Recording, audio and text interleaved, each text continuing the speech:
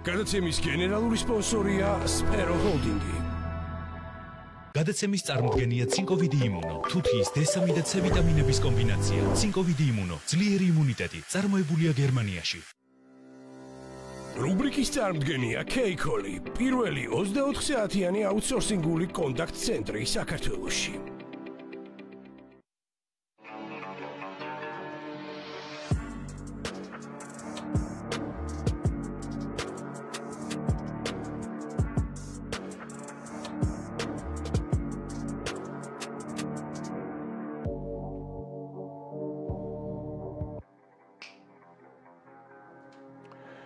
დღეს სოფლიოში სტატისტიკის საერთაშორისო დღე აღინიშნება. მე ვსარგებლობ შემთხვევით და საქართველოს სტატისტიკის ეროვნულ სამსახურს ულოცავ პროფესიულ დღეს. თითოეულ თანამშრომელს ულოცავ პროფესიულ დღეს, იმიტომ რომ მოგეხსენებათ მსგავსი ტიპის ინდიკაციები და მსგავსი ტიპის სტატისტიკები და რისერჩები, რასაც ეს უצება ახორციელებს ძალიან მნიშვნელოვანი გზამკვლევია ცალკეული ეკონომიკური პარამეტრებისთვის. აქვე კიდევ ერთხელ ვისარგებლებ შემთხვევით და უახლეს სტატისტიკასაც გაგაცნობთ.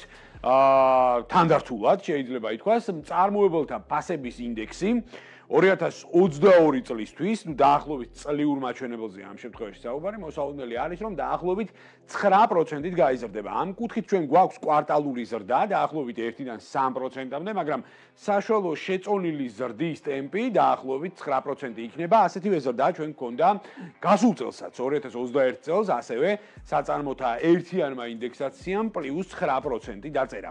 მოკლედ განმარტავ ამ ყველაფერს რას ნიშნავს? ანუ ეს არის პირდაპირ პროპორციულ ბმაში თლიანში და პროდუქტთან, თუმცა ეს არავითარ შემთხვევაში არ უნდა შეგვეშალოს და აგვერიოს ეკონომიკურ ზრდის დინამიკაში, იმიტომ რომ ეს აბსოლუტურად სხვა მიმართულების ინდიკაცია არის. თუმცა რეალურად საწარმოთა ბრუნვის ინდექსაციის მატება ნიშნავს იმას, რომ საქართველოსი საწარმოებმა ამ შემთხვევაში საუბარია როგორც მსხვილ, ასევე მცირე და საშუალო, ასევე მიკრობიზნესებზე 9%-ით მეტი დოვლათი შექმნეს. გამერთმა უმრავლოს ჩვენს ქვეყანას. დოვლათი, მე სანდრო ვეფხვაძე ვარ, ეს გადაცემა კაპიტალია, ახლა პირდაპირ ეთერში გავა კაპიტალ ნიუსის ტიხარი და გურამ მელქაძე, ჩვენი ბიზნეს რეპორტიორი შემოგვიერთდება პირდაპირ ეთერში.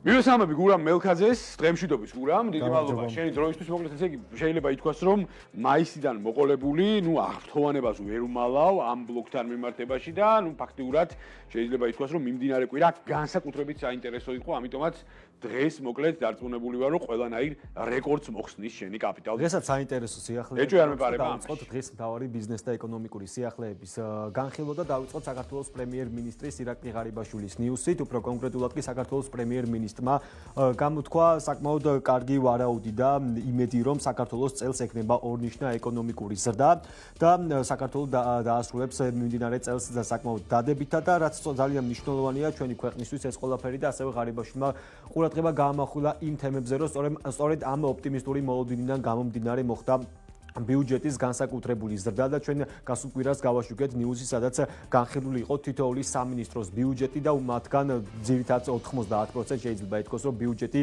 საგრძნობლად საგრძნობლად არის გაზრდილი.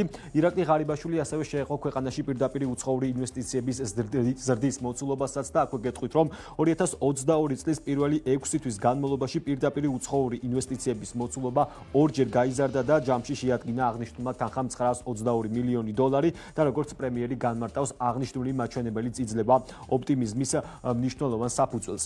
გადავიდეთ შემდეგ საკითხზე. დაგროვებითი საპენსიო სისტემას 2021 წლის განმავლობაში 1880 დასაქმებული გამოეთიშა, ხოლო სამაგიეროდ დაგროვებითი საპენსიო სისტემაში გაწევრიანდა ახალი 302 დასაქმებული პირი. აქვე გეტყვით, რომ 2000 21 წლის 31 დეკემბრის მდგომარეობით საპენსიო სქემაში გაწევრიანებულ დასაქმებულთა რაოდენობამ ჯამში შეადგინა 1.295.938 ადამიანი, რაც გასული წლის ანალოგიური პერიოდის მაჩვენებელს 11.5%-ით აღემატება. აქვე გეტყვით, რომ 2021 წლის ჩათვლით საპენსიო ფონდში შეტანილი თანხის საერთო რაოდენობამ შეადგინა 1.782 მილიონ ლარზე მეტი, ხოლო ფონდიდან გამოტანილი იქნა ჯამში 66.493.380 54000 ლარი. გადავიდეთ ექსპორტის თემაზე 2022 წლის იანვარ-სექტემბერში საქართველოსთან განხორციელებული საქონლის ექსპორტის მოცულობამ 4 მილიარდ ამერიკულ დოლარს გადააჭარბა, რაც 37.4%-ით აღემატება აღემატება გასული წლის ანალოგიური პერიოდის მაჩვენებელს. აქვე გეტყვით, რომ ადგილობრივი ექსპორტი მთლიანი ექსპორტის 68.7%-ს შეადგენს და აქ იგულისხმება ექსპორტი რეექსპორტის გარეშე, უფრო რომ განმარტოთ და აქვე გეტყვით, რომ აღნიშნული მაჩვენებელი წინა წლის შესაბამის პერიოდთან შედარებით 39.9 0.1%-ით გაიზარდა, რაც შეეხება უმსხვილეს პარტნიორ სახელმწიფოებს, პირველ ადგილზე ამ მიმართულებით იმყოფება ჩინეთი, მეორე ადგილს იკავებს რუსეთი, ხოლო C3-ს ხურავს თურქეთის სახელმწიფო. გადავიდეთ შემდეგ საკითხზე, რომელიც სპორტს უკავშირდება, უფრო კონკრეტულად კი სპორტისა და ახალგაზრდულ საქმეთა კომიტეტის თავმჯდომარე ირაკლი მეძმარიაშვილი, იტალიის საფეხბურთო კლუბ მილანის ინტერის სპორტულ დირექტორს შეხვდა და შეხვედრაზე მხარეებმა ისაუბრეს ძალიან საინტერესო თემებზე.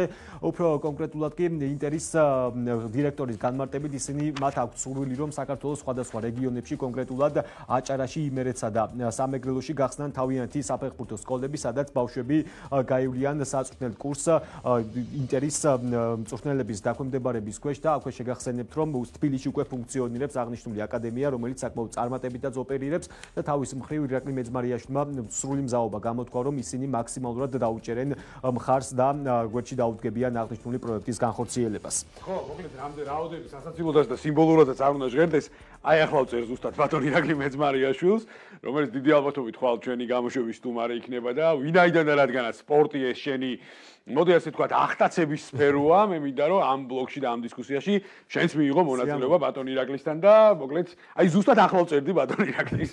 ასე რომ კარგად დაემთხვა ეს ყველაფერი. გადავიდეთ შემდეგ საკითხზე. სოფლის მეურნეობის განვითარების საერთაშორისო ასოციაციის ინფორმაციით და მათი განმარტებით ხორცს ზაქონდის ხორცზე ფასი გაიზარდა. აქამდე 1 კილოგრამის ღირებულება შეადგენდა 15 ლარს ხოლო ამ ეტაპისთვის აღნიშნული თანხა დაახლოებით 17-18 ლარით არის განსაზღვრული და ამის ერთ-ერთ მთავარ მიზეზად სახელდება საქონლის საკვებზე ფასის ზრდა და ასევე საკვების დეფიციტი, რაც შეეხება ხორცის რეალიზაციას.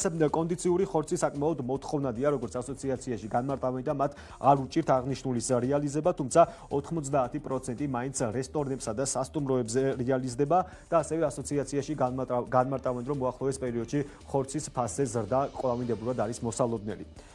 გადავინაცვლოთ დიდ ბრიტანეთში. დიდ ბრიტანეთში ფასების ზრდის ტემპი 40 წლის მაქსიმუმს დაუბრუნდა. სტატისტიკის ეროვნული ოფისის ბოლო მონაცემებით სექტემბერში ინფლაციამ 10.1% შეადგინა და აქვე გეტყვით რომ ბრიტანელი ეკონომისტების ვარაუდი შეადგენდა 10%-იან ინფლაციას და ხედავთ რომ ცირედის ხოვობა დაფიქსირდა ამ მიმართულებით ინგლისის ბანკი წელს 11%-იან ინფლაციას პროგნოზირებს და აქვე გეტყვით, რომ აგვისტოში ბრიტანეთის ინფლაცია 9.9%-ი შეადგინა, რაც შემცირების ტენდენციით ხასიათდებოდა, თუმცა სექტემბრის ნიშნულმა სულ სხვა რეალობა აჩვენა, რაზეც ციფრებიც კარგად მეტყველებს. შემდეგი ნიუსი სოფლის მეურნეობას ეწუნება და სოფლის განვითარების სააგენტოს ინფორმაციით პროექტ დანერგე მომავლის ფარგლებში ახალი პროგრამა ჩაეშვება ექსპლუატაციაში. ბაღების კომპონენტის ფარგლებში განაცხადების მიღება დაიწყება 2022 წლის 31 ოქტომბრიდან და ის დასრულდება 2023 წლის 28 თებერვალს და აქვე გამარტავ რომ ერთი ბენეფიციარი ნახევარი ჰექტრიდან 50 ჰექტრამდე დაფინანსებას მიიღებს და ერთი ბენეფიციარის ჭრილში დაფინანსების მაქსიმალური თანხა განსაზღვრული იქნება იქნება 250000 ლარით. და აქვე გეტყვით რომ ბენეფიციარებს აღნიშნული დაფინანსების მისაღებად არ მოუწევთ არანაირი კონკურსის გავლა უბრალოდ საჭირო იქნება გარკვეული სახის დოკუმენტაციის შეგროვება და მათი წარდგენა რაზეც უფრო დეტალური ინფორმაციას აღნიშნული სააგენტო ეტაპობრივად მიაწვდის ჩვენს მოსახლეობას. და დღის ბოლო ნიუსი ეწუნება კომპანია Apple-ის რომელმაც უკვე წარადგინა პლანშეტების iPad-ისა და iPad Pro-ს მიათე თაობის ახალი ხაზი და აქვე გეტყვით რომ ახალი iPad-ის დისპლეი არის 27 სანტიმეტრის და ასევე მას მოყვება USB-C დამტენი და პროცესორი A14 Bionic, რომელიც წინა დამტენთან შედარებით 20%-ით უფრო სწრაფია. რაც შეეხება iPad Pro-ს, მისი ეკრანის ზომა იქნება 27 სანტიმეტრი, ხოლო დამტენის ახალი დამტენი წინა დამტენთან შედარებით 15%-ით უფრო სწრაფად მოქმედებს და რაც შეეხება ფასებს, iPad-ის საწყისი ფასი 499 დოლარით იქნება განსაზღვრული, ხოლო iPad Pro-ს ფასი უკვე ამ შემთხვევაში 799 დოლარია და მისი ბაზარზე ჩაშვება 26 ოქტომბრიდან არის ნავარაუდები. ჩვენ ჟურნალისტები არა ვართ, კაპიტალის არც ერთი წევრი არ არის ჟურნალისტი. ჩემი და შენი ჩათვლით რა თქმა უნდა და სხვათა შორის აი შენ ხარ ძალიან კარგი ილუსტრაცია იმისა, როგორ შეიძლება ადამიანი ყველა მიმართულებით ძალიან კარგად ერკვეოდეს. დაწყებული ტექნოლოგიებით, დასრულებული იგივე საფონდო ბირჟებით, რომელსაც ძალიან რთულად შეეხება. ძალიან საინტერესო კოლაჟი იყო. მოკლედ ამ კოლაჟს მე დიდი სიამოვნებით გადავაზიარებ ხა გადაცემის მსვლელობისას. აი ეს არის ქალბატონებო და ბატონებო, გადაცემა კაპიტალის საინფორმაციო კომპონენტი, რომელსაც ბატონი გურამ მელქაძე უძღვება. ნამდვილად გეხმარებათ იმისთვის, რომ დაგეგმოთ საქმიანი დღე. მადლობა შენ ამისთვის. დიდი მადლობა. ჩვენი ბიზნეს რეპორტიორი გურამ მელქაძე საუბრობდა პირდაპირ ეთერში და განვაგრძობთ გამოშვებას. მოკლედ ეხლა ვიწყებთ ძალიან საინტერესო რუბრიკით დღევანდელ გამოშვების, ასე ვთქვათ, ანალიტიკურ ნაწილს. პირდაპირ ეთერში გავა კაპიტალ რეგიონების თიხარი, რაც ნიშნავს იმას, რომ ედიშერ ჯობავას ძალიან საინტერესო სტუმარი ეყოლება როგორც ყოველთვის. რეგიონები და მასთან დაკავშირებული პროექტები. თქვენი გადაცემის სახილვა შეიძლება ეს არის ძალიან კარგი პროექტი. აღმოჩნდა, რასაც ეწოდება ჩაის ნახოთ, რომ დიდი ბატონი არის პირველი სტუმრის გოლში. ხოლოს ფაქტები, განხორციელებული მიმდინარე და სამომავლო გეგმები. რა იყო, რა არის და რა იქნება. სიახლეები კაპიტალში, სანდრო ვებხვაძესთან და ედიშერ ჯობავასთან. მის საავტორო რუბრიკაში, კაპიტალ რეგიონები. მოგლეთ, გვიერთება პირდაპირ ეთერში ედიშერ ჯობავა, დღემშვიდობის ედიშერ. მოგლეთ, ესე იგი გურამი ესეთი კომპლიმენტით გავაცილე, ანალოგიური შემილია თქვა შენზე, ანალოგიური შემილია თქვა თითოეულ თანაწამყვანზე, რომელიც ახლა გულისებში არის და ის ადამიანების მათ შორის, რომლებიც აქ არ არიან დღევანდელ გამოშვებაში დღეს, მაგრამ შემიძლია ვთქვა, რომ გადაცემა კაპიტალმა დაამსხვრია მასმედიაში ყველანაირი კლიშე და ყველანაირი სტერეოტიპი იმასთან დაკავშირებით, რომ აბსოლუტურად სხვა გაცილებით უფრო მაღალი დონის და ტრენდის ასე ვთქვათ, მიმართულება შეიძლება შეიქმნას ჩვენს მედია სივრცეში და ფაქტიურად შევქმნით ეს ყველაფერი და ეს თქვენი დამსახურებაა. ყველასი, ვინც კაპიტალის ოჯახის წევრები ხართ. მადლობა კიდევ ერთხელ ამისთვის. მათ შორის თქვენი დამსახურება, დიდი მადლობა სანდრო. მადლობა ამისთვის, ედიშერ და მოკლედ გადავიდეთ უკვე საქმეზე, ვინ არის დღეს შენი ძალიან საინტერესო ბლოკის სტუმარი. მოგესალმები კიდევ ერთხელ სანდრო, მადლობა შეფასებისთვის, მივესალმები მაყურებელს. ჩვენი დღევანდელი გადაცემის სტუმარია ბოლნისის მერი, ბატონი დავით შერაზადიშვილი. მინდა მივესალმოთ მას. გთხოვთ ბატონ დავით, გთხოვთ. მოგესალმებით. ძალიან დიდი მადლობა თქვენი დროისთვის. მადლობა თქვენი დროისთვის. გთხოვთ. გთხოვთ შენ. 2016 წლიდან ბატონი დავითი არის მუნიციპალიტეტის ხელმძღვანელი და არაერთი მნიშვნელოვანი პროექტი განხორციელდა ბონიში და დაიწყოთ საგზაო ინფრასტრუქტურით. და მით უმეტეს სანდრო ძალიან მნიშვნელოვანი პროექტი დასრულების პირას არის უკვე. ეს ეხება თეთრი წყარო ბონისის დამაკავშირებელ გზას და დაიწყოთ საგზაო ინფრასტრუქტურით. კიდევ ერთხელ მადლობა თქვენი დროისთვის. მოგესალმებით კიდევ ერთხელ, მადლობა მოწვევისთვის. საგზაო ინფრასტრუქტურა, რომელიც არის ერთ-ერთი მნიშვნელოვანი მიმართულება, რაც ედიშერმა დასვა ეს საკითხი. შესაბამისად, ახლა მე კიდევ ერთხელ უბრუნდები იმ საკითხზე, როდესაც მე და ედიშერი გეგმავთ ხოლმე ბლოგს, ყოველთვის გვაქვს ხოლმე საუბარი ინფრასტრუქტურულ კომპონენტზე. განახლებული რეგიონები, მათ შორის ფინანსური კონტრიბუცია, რომელიც არა მარტო მთავრობის მხრიდან ხორციელდება. დონორებიც ძალიან აქტიურად არიან ჩართულნი რეგიონული განვითარების ნაწილში. შესაბამისად, ედიშერის მიერ დასმულ საკითხს გავაგრძელებთ და გთხოვთ გვიანბოთ იმ ინფრასტრუქტურული კომპონენტების შესახებ, რაც კონკრეტულად რეგიონში ხორციელდება. და დაიწყო საგზაო ინფრასტრუქტურით? კი ბატონო, მოგესალმებით. ძალიან მნიშვნელოვანი. ჩვენი მუნიციპალიტეტისთვის, ადგილობრივი თვითმართველობისთვის ერთ-ერთ მთავარ პრიორიტეტს ინფრასტრუქტურის მოწყობა წარმოადგენს და რა თქმა უნდა, მათ შორის მთავარი არის საგზაო ინფრასტრუქტურის მოწყობა. თქვენ კონკრეტულად ახსენეთ ბოლნისი თეთრი წყაროს დამაკავშირებელი გზა.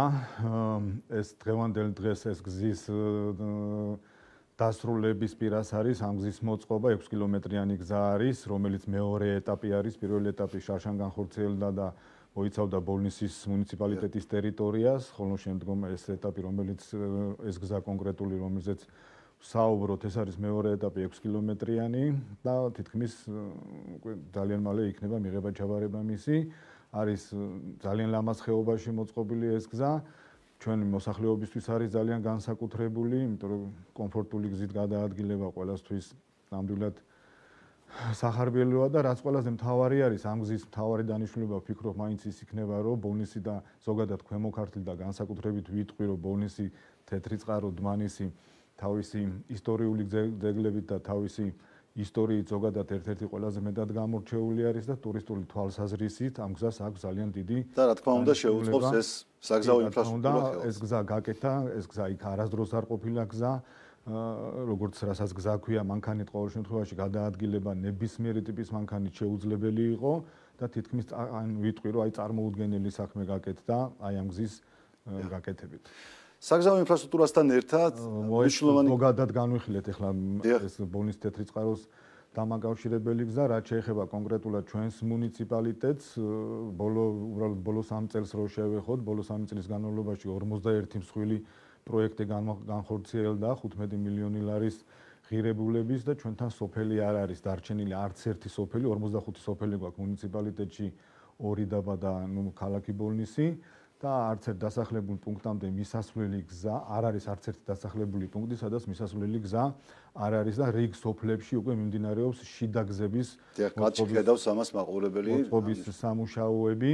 აქ იგულისხმება როგორც ბეტონით მოწყობა, ასევე ასფალტი და ბაზალტით, ადგილობრივი ბაზალტით, ქვაფენილების მოკრიწყლით გზების დაგება. წელსაც დაახლოებით 6 მილიონის ლარის ღირებულების პროექტები მიმდინარეობს, ანუ ამ 15 მილიონის გარდა 4 პროექტი მათ შორის დასრულებული არის, სამი აი ამ წუთას დღევანდელი დღისთვის მიმდინარეობს და 4 პროექტზე გამოცხადებული არის უკვე ტენდერები და წლის ბოლოს და მნიშვნელოვანია დასრულებული. დიახ, ბატონო დავით, საგზაო ინფრასტრუქტურასთან ერთად სასკოლო ინფრასტრუქტურაც შიც ძალიან დიდი ნაბიჯები იდგმება და აგრეთვე სპორტული ინფრასტრუქტურა რაც ძალიან მნიშვნელოვანია ახალგაზრდებისთვის. და ამ კუთხით რა სიახლეებია ბონიში რომ მოუყვეთ ჩვენს მრავალრიცხოვან მოხდა? ჩვენთან ნამდვილად კარგი სიახლეები გვაქვს, რა თქმა უნდა, ზოგადად ჩვენი ქვეყნის განვითარების და მუნიციპალიტეტის განვითარებისთვის თავარი და საჭირო პირობა არის, რომ ახალგაზრდებმა მიიღონ შესაბამისი განათლება და შესაბამისი განათლების მისაღებად კიდე საჭირო არის შესაბამისი ინფრასტრუქტურა, რომელიც თანამედროვე სტანდარტებს უნდა პასუხობდეს და ამ კუთხით 4 სკოლა სკოლა სკოლის სრული რეაბილიტაცია გაკეთდა ბოლო წლების განმავლობაში. ერთი სკოლა ერთი 4-ის გარდა ერთი სკოლა სოფელ ზვარეთში 60 ბავშვზე გათვლილი ახალი სკოლა აშენდა, რომელიც ასევე რა თქმა უნდა თანამედროვე სტანდარტებს პასუხობს. იქ ძალიან გაუსაძლის პირობებში უწევდათ ბავშვებს მეცადინეობა და განათლების სამინისტრო მუნიციპალიტეტთან მიიღეთ გადაწყვეტილება და თანამედროვე სტანდარტის შესაბამის სკოლა გაკეთა. წელს საზეიმოდ გავხსენით მართლა როგორც იტყვიან ნომერ პირველი ქალაქ ბოლნისის ნომერ პირველი საჯარო სკოლა, რომელიც არის ისტორიული შენობა, რომელიც სკოლამაც არაერთი თაობა აღზარდა და 4 მილიონი 400 000 ლარის ღირებულების პროექტი იყო. მუნიციპალიტეტის განვითარების ფონდმა განახორციელა ეს პროექტი და ერთგვარი სავიზიტო ბარათიც არის ეს სკოლა ჩვენი მუნიციპალიტეტის გამონდელ დღეს ძალიან მნიშვნელოვანია კი რა თქმა უნდა დიდი სივრცეები არის მოწყობილი როგორც ბიბლიოთეკისთვის ისე სპორტული დარბაზი გვაქვს ძალიან კარგი გარეთ ეზოში მინიმუმედანი გაკეთდა და მოკლედ ყველა პირობა არის აღიჭურვა რა თქმა უნდა და ყველა პირობა არის შექმნილი იმისთვის რომ ჩვენმა შვილებმა მომავალმა ძალიან მნიშვნელოვანი პროექტია ეს, მაგრამ აი სანდრო ევროკავშირის გრანტზე მინდა კითხოთ, რომელიც მიიღო მუნიციპალიტეტმა და სხვათა შორის უნდა აღინიშნოს, რომ ამაში ძალიან დიდია თქვენი პირადი წვლილიც და მინდა კითხოთ იმ პირადი პირადის რა მოგახსენოთ გუნდი. ამბულად არის, ჩვენ გვაქვს ინფორმაცია და შესაბამისად იგივე აგრო ცენტრი, რომელიც ფუნქციონირებს ხო ბოლნიში და შესაბამისად მომავალი საგრანტო მიმართულება რაც ექნება ბოლნის ამაზე რომ გავამახვილოთ ყურადღება. ეს ძალიან მნიშვნელოვანია არა მარტო ბოლნისელებისთვის, მეზობელი მუნიციპალიტეტებისთვისაც და ამიტომ გავამახვილე ამაზე ყურადღება. კი ბატონო, მოგახსენებთ ანუ დავიწყოთ იქნება რომ ბოლნისი ზოგადად ბოლნის მუნიციპალიტეტი არის პირდაპირ დანიშნულების სასოფლო-სამეურნეო მუნიციპალიტეტი ჩვენი მოსახლეობის 80% პირდაპირ თუ ირიბად მიწათმოქმედებასთან არის დაკავშირებული და გეტყვით საიდან წამოვიდა იდეა რომ აგროცენტრი შექმნილიყო, ცხადდებოდა გრანტებზე კონკურსი. ესეთი პროექტი იყო მერები ეკონომიკური ზრდისთვის. ამ პროექტის ფარგლებში ჩვენ გავაკეთეთ განაცხადი და ეს აგროცენტრი ცენტრი გულისხმობს დამწყები ახალგაზრდა ფერმერების მეწარმეების ხელშეწყობა, სხვადასხვა სერვისებს თავაზობს. ჩვენი ძირითადი მიმართულება ბოლო 5-6 წელია და არის მევენახეობა, მეღვინეობა, ჩვენი მოსახლეობა აქტიურად სარგებლობს იმ პროგრამებით, რასაც სასოფლის მეურნეობის სამინისტრო ზოგადად აცხადებს, დანერგემომავალი არის თუ აწარმოე საქართველოს თუ ნების მსგავსი. და აქტიურად არიან ჩართულები, განსაკუთრებული ყურადღება ეთმობა, რა თქმა რა თქმა უნდა, მევენახეობა მეღვინეობის განვითარებას. იმიტომ რომ ზოგადად 8000-ლოვანი ისტორია კონკრეტულად ბოლნისთან არის და მარნეულთან დაკავშირებული, ბოლნის მარნეული საზღვარზე არის ის აღმოჩენილი ის დოქი სადაც დადგინდა NASA-ს ლაბორატორიამ, რომელმაც დაადგინა, რომ ეს არის 8000 წლის. სხვადასხვა ძმების მარნის წარმომადგენელი ყავდა პირდაპირ ეთერში, რომელმაც საჩუქრად გადმოსცა კაპიტალს ეს დოქი, მოდი ასე ვთქვა, ესკიზი. ასე ვთქვა, ამ ეგ დოქი არის ერთგვარი დეკანტერი, ეგ დოქი სხვა ის დოქი, რომელზეც სკერზე ისა ყურძნის ღვინის მჟავა იქნა აღმოჩენილი, ეგ სხვა არის, ეგ დოქი არის ჩვენი ეგე ჩვენი მუნიციპალიტეტის ესე რო თქვა. მოკლედ დოქების რაოდენობით დაიქვეხნის ნამდვილად. ეგ არის 1961 1961 წელს აღმოჩენილი არის კინიგზა გაყავდა ბოლნისი, ანუ ყაზრეთის მიმართულები და მაგ სამუშაოების დროს აღმოჩენილი იქნა ეგ დოქი, რომლის თარიღი 2600 წლის თარიღდება, მისი ასაკი, რომელიც დღეს ჩვენს მუზეუმში, ბოლნისის მუზეუმში არის, ახალ მუზეუმში წარმოდგენილი და დაცული.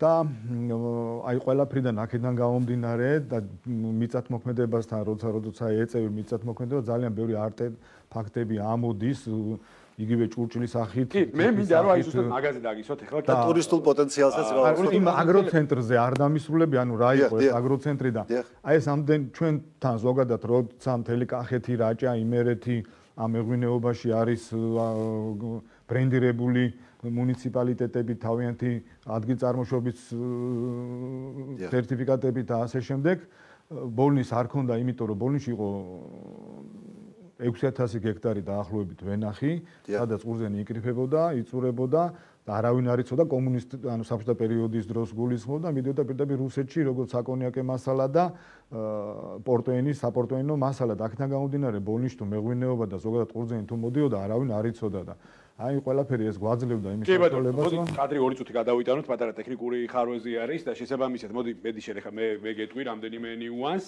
ნიუანსი მდგომარეობს რაში? ა ნიუანსი მდგომარეობს იმაში რომ საქართველოს თითქმის ყველა რეგიონს აქვს პოტენციალი რომელიც რომელიც ამ შემთხვევაში პოზიციონირდება ძალიან კარგად და დადებითად. ბოლნისი არის ერთ-ერთი ის გამონაკლისი, რომელიც შეიძლება როგორც ტურისტული კუთხით დაპოზიციონირდეს, ასევე სამეწარმეო კუთხით დაპოზიციონირდეს და მათ შორის დაპოზიციონირდეს სამთო-მომპოვებელი მრეწველობის კუთხითაც. მე მაინტერესებს. ეხლა თქვენ ახსენეთ რამდენიმე ტიპის სახელმწიფო პროგრამა, რომელიც ძალიან აქტიურად არის ჩართული თითოეულ რეგიონში და თითოეულ მიმართულებაში, მაგრამ ისევ და ისევ გამოწვევად რჩება ადამიანური რესურსის ნაკლებობა დღეს ქვეყანაში. თუმცა კომპანიამ ხა არ მინდა დავასახელო, იმიტომ რომ რეკლამაში ჩაგვეთლება, მაგრამ ყველა ძალიან კარგად ხვდება რომ კომპანიაზეა საუბარი. ძალიან მნიშვნელოვანი კონტრიბუცია განახორციელა და მე რამდენადაც მაქვს ინფორმაცია, ეს მოხდა ადგილობრივ მუნიციპალიტეტთან ერთად, რომ მომხდარიყო საქართველოსი ტექნიკური უნივერსიტეტის ბაზაზე გადამზადება ბენეფიციარების. მე მინდა გკითხოთ, მარტო სამთომობებით მრეწველობას არ ეხება ჩემი კითხვა. მე მინდა გკითხოთ, ტურისტული ინდუსტრია მათ შორის მრეწველობა და მათ შორის ცალკეული მიმართულებები, რომლებიც ასე მრავლად არის წარმოქმნილი ბოლნიში, რას ვაკეთებთ იმისთვის, რომ მოხდეს ადამიანური რესურსის სტიმულირება, აი ამაზეც რო გვიამბოთ რამდენიმე სიტყვით. მოგახსენებთ, ან როგორც თქვენ ახსენეთ, კომპანია და ძალიან დიდ საქმეს აკეთებს ზოგადად მაგ კომპანია არა მარტო კადრების გადამზადების საქმეში, ზოგადად მუნიციპალიტეტის განვითარების საქმეში, თუნდაც აი სოფლის მეურნეობის კუთხით ძალიან ხელშემწყობი არის ამ გაერთიანებას ძალიან უიწყობს ხელს გაერთიანება ღვინო-ბოლნისის აქტიურობაში და აქ ბევრი კომპონენტი იგულისხმება. რა თქმა უნდა, კადრების ნაკლებობა ბოლნისშიც ძალიან აქტუალური არის და ძალიან იგრძნობა ეს ყველაფერი. დავამატებ მაგას, რომ თვითონ განათლების სამინისტრო უკვე წერს დაიწყო ძალიან მნიშვნელოვანი პროექტი და 14 მილიონიანი ცენტრი შენდება, დაწყებული არის უკვე მოსამზადებელი სამუშაოები. ეს პროფესიული კოლეჯი, პროფესიული კოლეჯი, კი, პროფესიული კოლეჯი. და როგორც მოგახსენეთ ჩვენი ძალიან ჩვენი მუნიციპალიტეტი სასოფლო სამეურნეო მუნიციპალიტეტი არის აგრარული მიმართულებით და ძალიან კადრების დეფიციტი გვაქვს როგორც თქვათ ვეტერინარიის და ზოოტექნიკების მიმართულებით ასე აგრონომების და ასე შემდეგ და ასე შემდეგ და 12 პროფილიანი იქნება სავარაუდოდ 10-12 პროფილს რომელიც მთლიანად სოფლის მეურნეობის მიმართულებით იქნება და ეს ძალიან საჭირო არის ჩვენთვის და ჩვენი ხვალინდელი მუნიციპალიტეტის ხვალინდელი განვითარებისთვის. ბატონო დავით, აუცილებლად უნდა კითხოთ და ძალიან ბევრი ადამიანისთვის იქნება ეს მნიშვნელოვანი ინფორმაცია. სოციალური პროექტები, რომელიც ხორციელდება მუნიციპალიტეტში თქვენის ჩართულობით, რომელიც ორიენტირებულია და მორგებულია იმ ადამიანებზე, რომლებიც ამას საჭიროება საჭიროებენ ამ პროგრამის აღებობას. მე ვიტყოდი, რომ ჩვენი მუნიციპალიტეტი უდაოდ გამორჩეული არის ამ იმართულებით. ჩვენი პროგრამები, რომელიც იქმნება და შემდეგ იხვეწება, მთლიანად არის მორგებული ყველა იმ სოციალურ მოწყვლად ჯგუფებზე, რომლებიც რომლებსაც ეს საჭიროებები გააჩნიათ, დაახლოებით 6 მილიონის ღირებულების 6 მილიონის 6 მილიონი ლარი იხარჯება ყოველწლიურად ამ პროგრამების განსახორციელებლად და კიდევ მეორე საზოგადოების ყველა ფენაზე არის მორგებული ეს პროგრამები. ამის ერთ-ერთი ნათელი მაგალითი ნათელი მაგალითი არის ის გარემოება, რომ ადგილობრივი თვითმმართველობის ასოციაცია რასაც ნალაქვია ჩვენ ზედიზედ 20 ჯერ საუკეთესო პრაქტიკის მუნიციპალიტეტად გვაღიარა. ეს მიმართულებები იყო შეშიმოპირებისთვის სერვისების გაუმჯობესება კოვიდის რეგულაციების მართვა ერთ-ერთი იყო ზუსტად აგროცენს გადაეცა და ახალგაზრდული მიმართულებაც ახალგაზრდული მიმართულებაც და ეს 4 ჯერ ზედიზე დავიღეთ ეს ჯილდო, რომელსაც ადგილობრივი თვითმმართველობა ასოციაცია ყოველწლიურად მართავს და რა თქმა უნდა ეს ჩვენთვის ერთგვარი სტიმულიც არის და დამამტკიცებელი იმისი რომ სწორად მუშაობთ და კარგად ვაკეთებთ საქმეს. ნუ იქ ძალიან ბევრი კომპონენტი არის სამედიცინო მომსახურებებიდან დაწყებული მედიკამენტებით უზრუნველყოფა, სოციალურ დაუცველებისთვის საჭიროების შემთხვევაში რა თქმა უნდა სახლის დახურვების გადახურვა, სტუდენტების სტუდენტებზე დახმარება, ანუ ყოველთვიურ სტიპენდიებს ურიცხავთ სტუდენტებს თავიანთი სწავლის ხარისხიდან გამომდინარე 90 ქულამდე 50 ლარით ეხმარებით, 90-ზევით 100 ლარით, ასევე წარმატებულ სპორტსმენ სტუდენტს სპორტსმენებს, ახალგაზრდებს ეხმარებით და რა თქმა უნდა ესეც მათთვის ორმაგი მოტივაცია არის რომ შემდეგ თქვენ იმდენ პროექტზე და იმდენ სასარგებლო გადადგმულ ნაბიჯებზე ისაუბრეთ მუნიციპალიტეტის ფარგლებში. ჩვენი კულისებში საუბარი მინდა განვავცო და აუცილებლად კაპიტალის გადამღები ჯგუფი სანდრო ეწვევა ბონნის, რომ ყველა ის სიკეთე დავაფიქსიროთ, აუბეშდოთ, მივაწოდოთ მაყურებელს და ზოგადად ძალიან სასიამოვნოა და მნიშვნელოვანია, როდესაც ხალხზე მორგებული პროექტები ხორციელდება, ხა ჩვენ სხვადასხვა პროექტებზე გავამახვილოთ ყურადღება, ნუ გადაცემის ფორმატი არ გვაძლევს იმის საშუალებას, რომ დეტალურად ვისაუბროთ, თუნდაც იმ ლაბორატორიის სარგებლობაზე, რაც სოფლის მეურნეობის კუთხით ისი მომტანიც არის თვითონ ეს ლაბორატორია, თუმცა ამას აქვს ძალიან დიდი თემები, რომელიც მომულია ამ ლაბორატორიასთან, იგივე აგროტურისტთან და ასე შემდეგ, რომელზეც ჩვენ ჩვენი გადამღები ჯგუფი აუცილებლად გაამახვილებს ყურადღებას და შესაბამისად წარმოადგენს მაყურებელს. მე ავი საომავლო გეგმებზე მინდა ორიოდე სიტყვა რო გითხრათ. საომავლო გეგმები როგორია? და შემდეგ უკვე დასრულების გზავნოთ საუბარი ჩვენთვის რა თქმა უნდა ჩვენ ჩვენი ქალაქი ბოლნისი ზოგადად არის თანამედროვე ბოლნისი შვაბი გერმანელების მიერ აშენებული 200 წლის წინ. იქ არსებული ინფრასტრუქტურა არის ძალიან მოძველებული და ჩვენი ფინანსური მდგომარეობიდან არსებული ფინანსური მდგომარეობიდან ჩვენ ამას ჩვენი ძალებით ვერ გავწდებით, რომ იმ ქალაქს დაუბრუნდეს თავისი ავთენტური სახე, რომელიც შეიცვალა საბჭოთა პერიოდის დროს და ამ მიმართულებით ჩვენ აქტიურად მუშაობთ. მაგ კონკრეტულ ციფრებს ვიტყვით, რომ ევროკავშირის ერთი გრანტი გვაქვს მოგებული 380000 ევროს ოდენობით, მეორე 250000 ევროს ოდენობით, გვაქვს GIZ-ის 200000 ლარის ოდენობით, გაეროს განვითარების პროგრამის 100000 ლარის ოდენობით და ну მოკლედ გვაქვს ამ მიმართულებით კონკრეტულად მუშაობთ, თუმცა ეს თანხები არ არის საკმარისი იმისთვის, რომ მასშტაბური პროექტები განვახორციელოთ და ადგილობის ცენტრალური ხელისუფლება აქტიურად არის ჩართული ამ პროცესებში. სპორტული ინფრასტრუქტურაზე ვახსენეთ, აღარ გვისაუბრია და იმის გარდა რომ ვაკეთებ სპორტული ინფრასტრუქტურას, სპორტ კომპლექსი შენდება, ეხლა ჩვენ გვაქვს თამა სტეფანიას სახელობის სტადიონი და ყავს გუნდი ეგრეთ წოდებულ უმაღლეს ლიგაში საფეხბურთო კლუბი სიონი, რომელიც არის ერთადერთი მუნიციპალური კლუბი და ჩვენი აი ეს სტადიონი საჭიროებს რეაბილიტაციას რომლის ღირებულება დაახლოებით 5 მილიონი ლარი არის და დიდი მედი გვაქვს რომ მოკლედ ყოველწლიურად წინ და წინ წავიწერ სამომავლო გეგმები ძალიან ბევრი გვაქვს და სურვილი და მონდომებულები ვართ და მოტივირებულები ვართ. ჩვენ კი ჩვენს მხრიდან კი არის მზაობა ყველა მნიშვნელოვანი პროექტი რომელიც განხორციელდება თქვენს მუნიციპალიტეტში თქვენი ჩართულობით თქვენს გუნდთან ერთად გავაჟღეროთ, მივაწოდოთ მაყურებელს ინფორმაცია და აუცილებლად გვირდებით რომ კაპიტალის ჯგუფი ეწევა ბონის და იმ სიახლეებზე მოუყვება მაყურებელს, რომელიც თქვენ აქ აღნიშნეთ. მოგლეთ, ძალიან დიდი მადლობა მეგობრებო, საინტერესო საუბრისთვის, გისურვებთ. მადლობა. მომავალ შეხვედრამდე. დიდი მადლობა ედიშერ. საინტერესო ბლოგისთვის, გთხოვთ. მოგლეთ ინფორმაცია, რომელიც ახლა გავრცელდა, სანამ შემდეგ ბლოგზე გადავალთ. აა საქპატენტს ყავს ახალი ხელმძღვანელი. რამდენიმე წუთის წინ მთავრობის ადმინისტრაციაში შეხვედრა გამართა პრემიერ-მინისტრმა.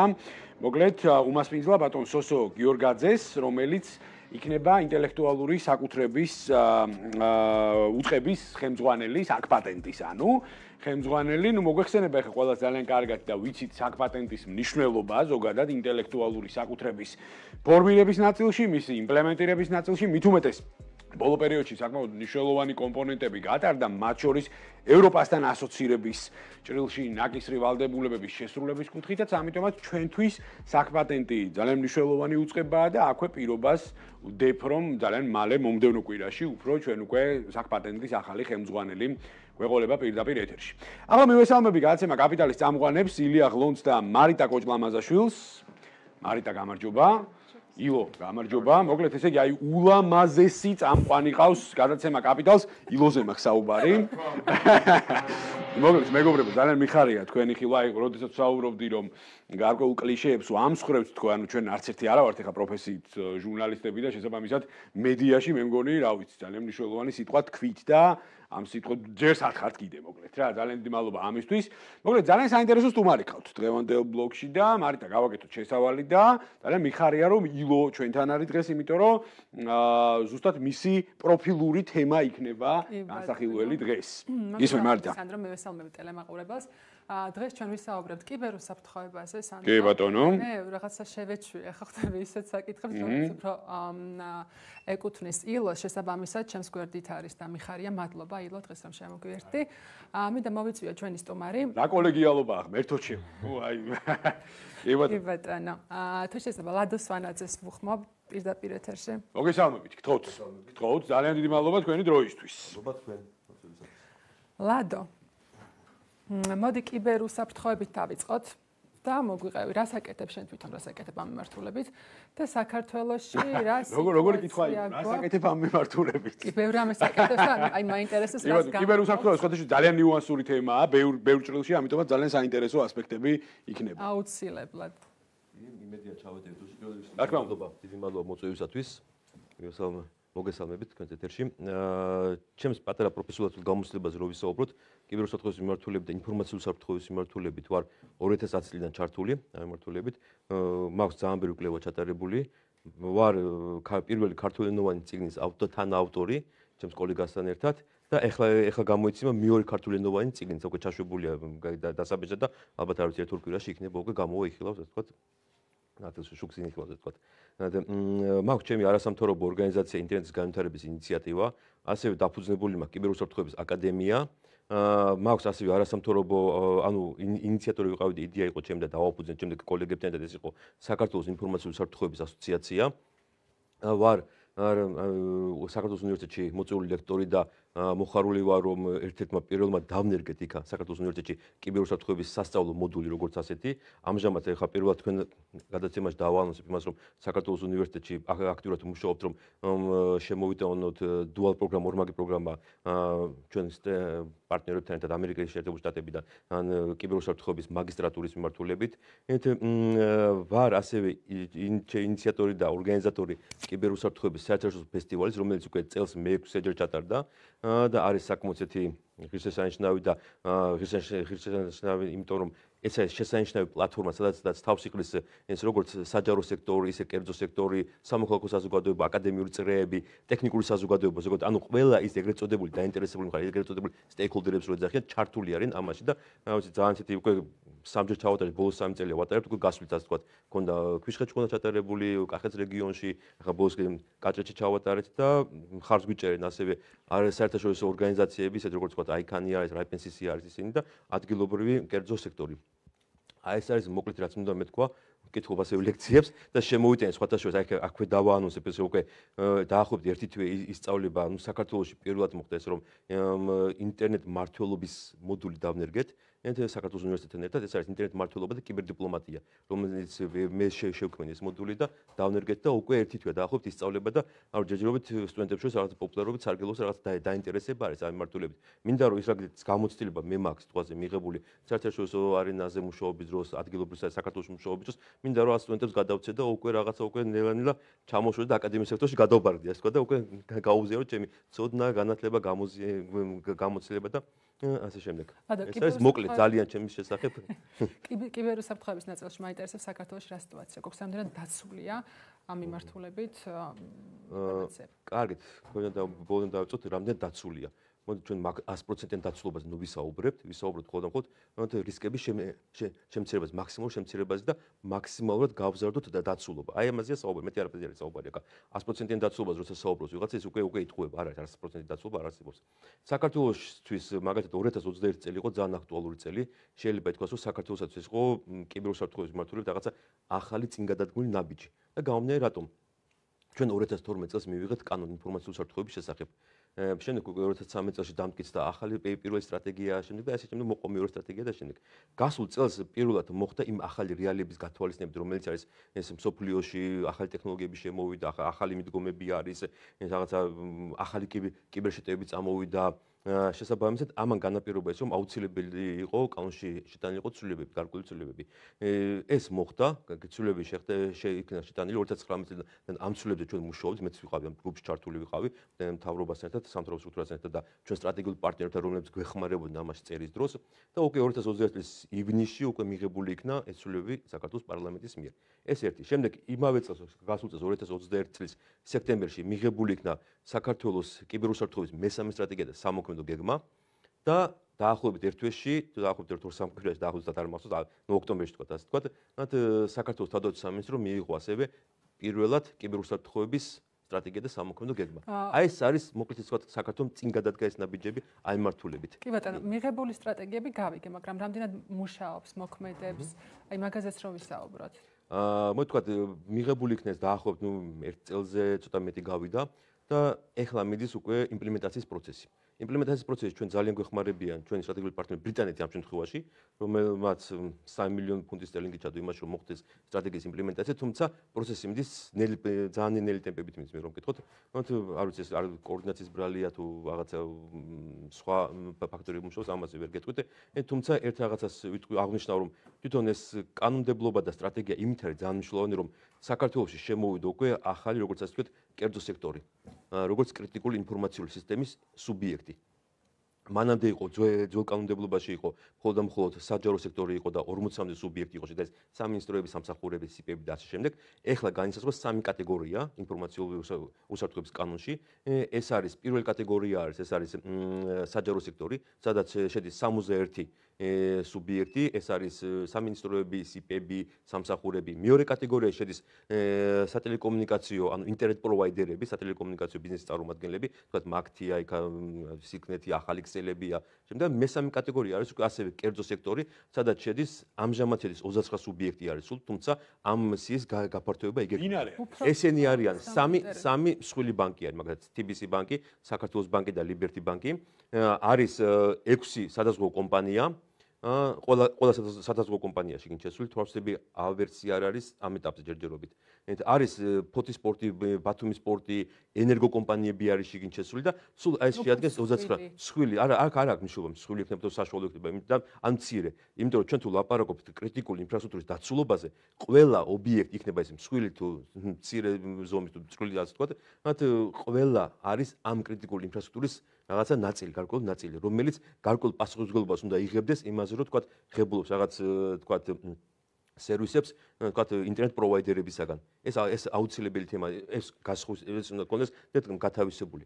კერძო სექტორს რაც შეეხება ახლა უკვე ბოლო პერიოდში უკვე ვამჩნევ იმას რომ კერძო სექტორიდან არის ძალიან ბევრი დაკვეთები სხვათა შორის. ანუ თქვა ტესტების ჩატარებაზე შეხტევადობასთან დაკავშირებით ინფორმაციული უსაფრთხოების აუდიტის ჩატარებაზე უკვე ძალიან ანუ ეს ძალიან კარგი და დადებითი მხარე უკვე აეთმა რამოდენიმე დინმა კომპანია მოგმართა ჩვენ ჩაუტაროთ ინფორმაციული უსაფრთხოების აუდიტი ჩაუტაროთ ასევე შეხტევადობაზე ტესტები და ეს ყველაფერი გამოვლენოთ რა და როგორ არის სისტემები ხო ეს გამომჩა უკაცრავად კატეგორიები როცა ვახსენებ პირველ კატეგორიაზე პასუხისგებელი არის სუსის CP ოპერატორული ტექნიკური სააგენტო. და მესამე კატეგორიაზე უკვე პასუხისგებელი არის იუსტიციის სამინისტროს CP ასევე ციფრული მართლობის სააგენტო აი ეს გადაწყვეტილებული დუბლირება ხო არ ხდება ეხლა მე მაგ ერთი კითხვა ჯერ ორი კითხვა მაქვს უბრალოდ კატეგორიზაცია და შემდეგ ილოს მოусმინოთ, იმიტომ რომ ძალიან საინტერესო მსჯელობებია აქ ამ კუთხით. კატეგორიზაცია ზოგადად სექტორების მიხედვით. თქვენ ახსენეთ, რომ მესამე ფაზა მოიცავს რამდენიმე ინდუსტრიის წარმომადგენელს. ეს არის საფინანსო სექტორი, ეს არის ლოგისტიკური სექტორი, ეს არის მიკროგრანტების სექტორი, ან შემთხვევაში მიკროსაფინანსო ორგანიზაციებზეა საუბარი. აი ბრიტანულ წესდებაში, მაგალითად, ხო, ბრიტანეთი არის ერთ-ერთი ჩვენი პარტნიორი ამ ყველაფრის იმპლემენტაციის ნაწილში. ბრიტანულ წესდებაში ამ შემთხვევაში კიბერუსაფრთხოების ნაწილი არის სრულად ყველა სექტორზე გავრცელებული და მათ შორის ყველა კომპანიაზე გავრცელებული, მათ შორის მიკრობიზნესის წარმომადგენლებზე. ეს ერთი ნაწილი და ამაზე მინდა გკითხოთ აუცილებლად, რომ აი მაგალითად პირობითად კატეგორიზაციაში დარჩა რომელიმე კომპანია თამაშგარე მდგომარეობაში. რა დააშავა მან, რატო არ ვრცელდება მასზე ეს წესდება? ეს ერთი და მეორე. დუბლირება ხო არ ხდება უწყებრივი კუთხით და რატო? სუს ხავს თავისი CP, შინაგან საქმეთა სამინისტრო ასევე მუშაობს კიბერუსაფრთხოების ნაწილზე, თავდაცვის სამინისტრო ასევე მუშაობს კიბერუსაფრთხოების ნაწილზე და მე არ ვიცოდი და თურმე იუსტიციის სამინისტროც ჩართულია ამ ნაწილში. ძალიან ბევრი უצება ხო არ არის შემთხვევით ჩართული და შესაბამისად როდესაც ბევრი უצებაა ჩართული, ხშირად ხდება ხოლმე გარკვეული ასინქრონები და აი ამ კუთხითაც რა რისკს ხედავთ? აა, სხვა შორის კამდელობაში განსაზღვრული არის თითოეული სუბიექტის თავისი მოვალეობები, უფლება მოვალეობები, სად იწყება მათი უფლება მოვალეობა, სად თარდება, სხვა და საერთოდ. სად იწყება სიტყვა სუსის და სად თავდება ამ შემთხვევაში შინაგან საქმეთა სამინისტროს. იმასაც შეეხება თქვენ რობერტ ცენტრო, ეხა გავიგეთ სამინისტროსთან დაკავშირებით, სწორედ იუსტიციის სამინისტროს მონაცემთა გასვლის სააგენტო იყო თავის დროზე, რომელიც იყო პირველი პიონერი, რომელიც 2010 წელს შეიქმნა სუსის მერე შეიქმნა ეს ყველაფერი. ეს მონაცემთა 2010-ში არც არსებობდა მაშინ. ხო, არ არსებობდა 2000 როდის იყო შეიქმნა. და შემდეგ უკვე 2010 წლის შემდეგ უკვე მონაცემთა გასვლის სააგენტო გადაკეთა, სწორედ 2020-ში გადაკეთა ციფრული მართლობის სააგენტოდ. აი ეს მოხდა სხვა არაფერი არ მოხდა.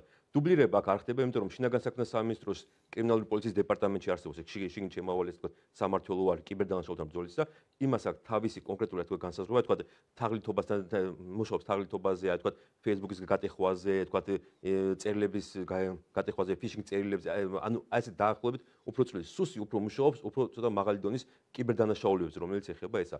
აა სუსმა ეხა იმიტომ აიღო ეს თქო მეორე კატეგორიაზე მაქვს საუბარი ნუ გასაგებია პირველი კატეგორიაზე არ შევეკები საჯარო სექტორია მეორე კატეგორია თქო ტელეკომუნიკაციების პროვაიდერი ინტერნეტ პროვაიდერები იმიტომ რომ ფაქტურად კიბერშეტევა მოდის სწორედ ამ სწორედ პირველი მიმღები არის სწორედ ასწორედ ინტერნეტ პროვაიდერი ანუ ინტერნეტის ჩვენ საიდან ზღობლობთ ხო ასე ანუ ინტერნეტ პროვაიდერს უნდა ქონდეს მაქსიმალური დაცულობა რო ჩვენ როგორც end user-მა, ანუ ბოლო მომხმარებელმა მივიღოთ ხარისხიანი, სტაბილური და უსაფრთხო ინტერნეტი. როგორც ჩვენ, ისე თქვათ, მათმა, ისე თქვათ, მათ თქვენ მდგომა უფრო მცირე და საშუალო ზომის ტელეკომპანია ტელე სატელეკომუნიკაციო პროვაიდერებმა, ისე თქვათ.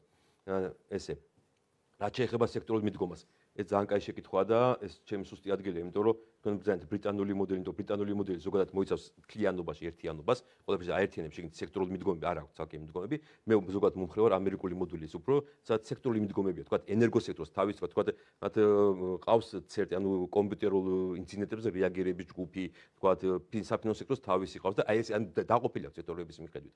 ეს ერთი, რომელიც თქვა აუცილებლად გასათვალისწინებელი იყო და ანუ ჯერჯერობით არ არის გათვალისწინებული, არ ვიცი ალბათ მომავალში გაითვალისწინებენ ამას იმედია და მეორე არის აუცილებლად ის რომ თქვათ აუთსორსინგული მომსახურება. საქართველოს ჯერჯერობით არ არის აუთსორსინგული, თქვათ რაღაცა კულტურა ჩამოყალიბებული. როდესაც მე ვესაუბრებოდი სხვა რაღაც შეხვედრები ქონდა რაღაცი სუსისში და ყველა სახელმწიფო წარმომადგენელი. მოდი აუთსორსინგ გავიტანოთ ეს მოსამსახურება, ხო? მე კომპანიაში შექმნი, რაღაცა კომპანიაში შექმნის, გაიზრდება იქნება კონკურენცია, გაიზრდება ხარისხი, გაიზრდება კონკურენცია, ანუ სპეციალისტები გაიზრდება, რაც ძალიან პრობლემურია დღეს საქართველოს სპეციალისტების ეს ყოლა განათლების დონეზე, ანუ ყველაფერი გაიზრდება, ხო? კონკურენტულ გარემოში. ну მას ერთ-ერთი პასუხი იყო ну რასაუბრობ უსაფრთხოება როგორ გავიტანოთო ამ შემთხვევაში მე ერთი დავიჭირი ესე ვთქვა ჯერჯერობით რაღაც საბჭოთა კავშირის დროინდელი უსაფრთხოების მენტალიტეტი კიდე მუშაობს უსაფრთხოების გატანაზეა საუბარი. ანუ თუ სახელმწიფო კიბერკომპონენტზე ვსაუბრობთ, მაშინ მე არ ვეთანხმები აუთსორსინგის ნაწილს, მაგრამ კომპანიის ნაწილს ახლა მე ძალიან მიჭირს გავამტყუნო კომპანია, რომელსაც ნდობი, ნუ ახლა საქართველოს ხო ბოლო 300 წლების განმავლობაში ნდობა არის დევალვირებული და რაც გჭირს ეკონომიკურად, რეალურად, ხო? ეს არის ნდობის დევალვირების გამოძახილი, ცალკეულ მიმართულებებთან დაკავშირებით. ამიტომაც კი, უპრიანი იქნებოდა, იმიტომ რომ ეს ძალიან ბევრ მიმართულებას მათ შორის დაზოგავდა მინიმიზაციას მოახდენდა მათ შორის თანხების და ამ შემდეგ, მაგრამ რა ვიცი, მაინც მაინც მიჭირს გავამტყუნო კერძო სექტორი გარკვეულწილად. მოდი აუთსორსინგზე მოდი დავამთავრებთ. აუთსორსინგზე როცა ვსაუბრობ, მე აქ საუბარია სახელმწიფოს მხრიდან ლიცენზირებებზე, შესაბამის კომპანიების და მათი მათი მონიტორინგის გაწევაზე, იმიტომ რომ სახელმწიფო მის გვაჩვენდა, დანცუდი გამოცდილება გვაჩვენდა, იმიტომ რომ მონაცემთა გაცვლის აგენტო, რომელიც შემდეგ შეიცვალა ციფრული მართლობის აგენტოდ, უკვე მათ ცეთ ანუ ინციდენტებზე რეაგირების ჯგუფს არ ქონდა შესაბამისი რესურსი, ადამიანური რესურსი უბრალოდ აღარ ყავდათ უკვე შესაბამისად. უკვე დამატებით შეიქმნა კიდე სუში ესე მსგავსი ორგანო და ზოგადად რესურსი რომ ზოგადად პრობლემაა მოძიება, ყოველთვის რთულია ხომ ამ ამ მე ამ მე ამაზე მაქვს საუბარი თორე იმაზე არ თქვა ლაპარაკი. კება კება მოიძიონ. და გააკეთონ ეს ყველაფერი რა ქვია. აბსოლუტურად მესმის. ნუ კიბერუსაფრთხოებაში მე მგონია ორი ნაწილიდან გამოვყოთ. პირველი ეს არის სახელმწიფო კიბერუსაფრთხოება და მეორე უშუალოდ კერძო ან მოქალაქეების ნაწილის კიბერუსაფრთხოება. რა შეიძლება სახელმწიფო ნაწილად თქვენ კარგად ვილაპარაკეთ საკმაოდ მე ზოგადად აუთსორსინგის მომხრევა რა თქმა უნდა. იმიტომ რომ უბრალოდ არაეფექტური. ზოგადად არანაირად სახელმწიფო არ მგონია ეფექტური არც ერთ თავის მოვალეობაში, რომელიც დაასრულეს და კიბერსოფტხობა ერთ-ერთი ისეთი თანამედროვე თემაა, რომელშიც რომელიც ხოთაშორის ერთი რას იწევს ანდრო რომ IT სპეციალისტები აღარ არ არიან კერძო სექტორში და მე ჩვენ ამბობთ კერძო სექტორში რატო არიან? IT სპეციალისტები ზუსტად ერთ-ერთი იმის გამო რომ სახელმწიფო და კომუნიკაციების და ბანკების სექტორმა მთლიანად შეანთქა IT სექტორი და ეს არის წარმოუდგენელი რამ ანუ სახელმწიფო არის ყველაზე დიდი კომუნიკატორი თან. იმიტომ რომ ყველაზე ძლიერი სპეციალისტები იმიტომ რომ უჭირავს აი ეს სახელმწიფოს ხელში ეს ხალხი განცუდი გაგებით რომ ძალით კი არ უჭირავს ანუ კარგი ხელფასით კარგი გარემოთი და ისე რომ მაქსიმალურად იჭერენ ხოლმე ამ IT სპეციალისტებს და შესაბამისად კერძო სექტორში არ არის ცოდნის და ასე ვთქვათ valuation მოკლედ აქეთა ნაწილში არ იზრდება. ამის გამო თუ რაღაცების მაინც აუთსორსინგ მოხდება, ის იქნება კარგი, მაგრამ მე მგონია საქართველოს არის ძალიან დიდი პრობლემა კიბერსაფრთხოების მართულებით კერძო ნაწილში. აა ფიშინგი გახდა საყოველთაო სრულად, იმიტომ რომ არც ერთ საიტზე საი განცხადებას ვერ დადებ, რამეს რომ ფიშინგის ესე თქი მცელობა არ მოყვეს, იმიტომ რომ უკვე 4 ჩემი თანამშრომელი მოყვა ეგეთ რაღაცებს, ამ მე არ უთხარი არ გაყიდო ეს ასე შემდეგ და ეს არის მათ შორის დაკავშირებული ისეთ პლატფორმა, რომელიც არის My Group-ის პლატფორმა ამ ამ ეტაპზე, რომელიც ეკუთვნის TBS შვილობილ კომპანიას, ხო? ფაქტობრივად ეს შეიძლება ითქვას, ასევე რომელიც არის ფინანსური სექტორი, უდიდესი ნაწილია ეს და დაკავშირებული არის ეხლაც და იყო ძალიან დიდწილად, ეხლა ცოტა My Market-ზე გადმოვიდეთ საქართველოს პოსტასთან. და მათი აკაუნტების გაყალბება ხდება. ამის საწინააღმდეგოს მე საერთოდ ვერ ხედავ ვერაფერს რა.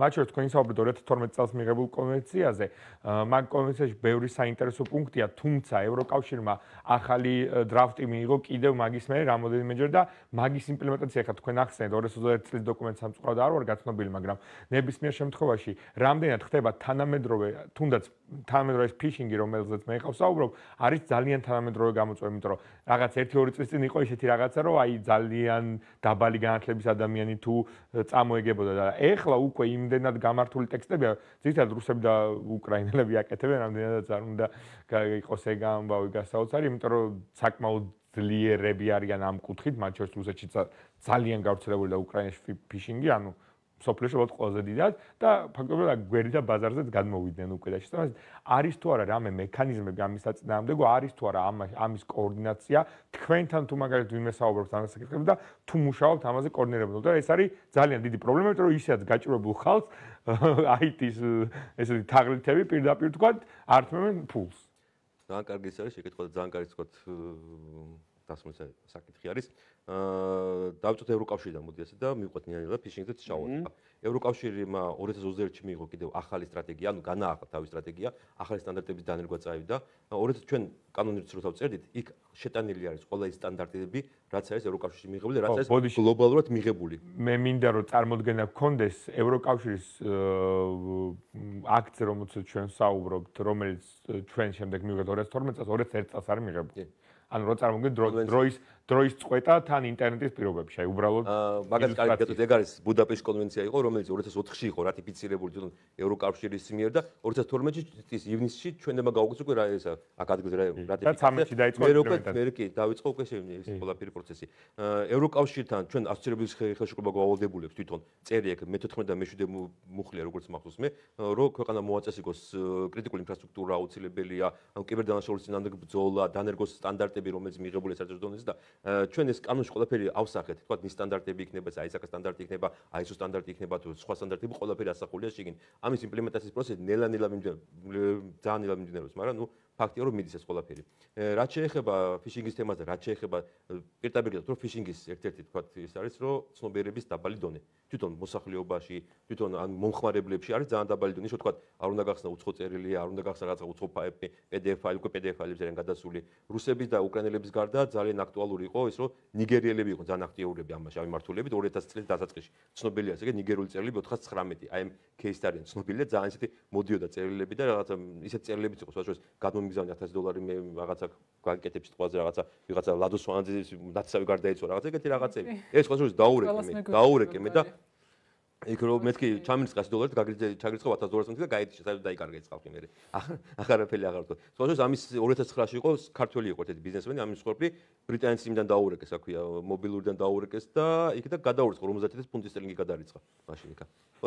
ანუ მის ხორფი იყო ასეთი. რაც შეეხება კერძო სექტორს კერძო სექტორზე როცა საუბრობ ჩვენ კერძო სექტორს აქვს პრობლემა. პრობლემა არის თვითონ ტოპ მენეჯმენტში.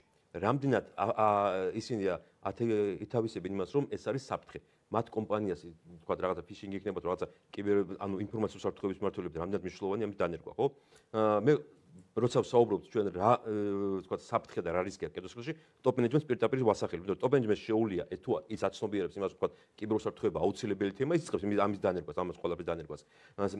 ჯერ როცა ვსაუბრობთ კიბერ ტოპ მენეჯმენტთან ჯერ ვსაუბრობთ უსაფრთხოება რამდენად მნიშვნელოვანია და მე რა გადავდივარ თქვა კიბერუსაფრთხეობა რამდენად მნიშვნელოვანია ამ შესაბამისად და მე რა თქვა მოყვებიან ძალიან ხშირად მაგრამ ძალიან ძიმედ მოყვებიან იმიტომ რომ ნუ მაინც ახლა ბიზნესია და ბიზნესმა უნდა დახარჯოს ეს იაფის არ არის ეს ზოგადად რა იმიტომ რომ ჯერ აუდიტი უნდა ჩაატარო შეხტევადობის ტესტი უნდა ჩაატარო შემდეგ იგი რეკომენდაციებია, რაღაც დანერგვებია საჭირო, ახალი ტექნიკაა საჭირო, საყიდელი ახალი ტექნიკა და ასე შემდეგ. შესაბამისად, ბიზნესი ამაზე ძალიან ნელა მოყვება ხოლმე. იმიტომ რომ ბიზნესი უნდა გაითავისოს, ეს რო თქვა, რამდენად მნიშვნელოვანი რომ თუ ამას არ გააკეთებს, შეიძლება ხვალზე უფრო გაცილებით დიდი პრობლემა დაუწოს, გაცილებით დიდი ეკონომიური ზარალი მიადგეს ამ მის კომპანიას. ასევე ეხება ხა გადა რახან კერძო სექტორზე გადავიდეთ, შევეხებ პატარა ერთი ორი ვთქვით, პერსონალ მონაცემების დაცვის თემას. საქართველოს უკვე მიიღო კანონი პერსონალ მონაცემების დაცვის შესახებ, სადაც შეიტანა ცვლილებები ევროპაში მიღებული GDP-თან დაკავშირებით. ანუ ეს ითვალისწინებს ძალიან დიდ ჯარიმეთთან დაკავშირებული. ამ მიმართულებაზე ძალიან დაბალია ცნობადობა, ცნობიერება ზოგადად კერძო სექტორში, იმიტომ რომ ჩვენი კომპანიებს, ქართულ კომპანიებს ბევრი პარტნიორი ყავთ, თქვა ევროპული კომპანიებიდან, ბევრი ევროპელი სხვადასხვა მუშაობს ჩვენთან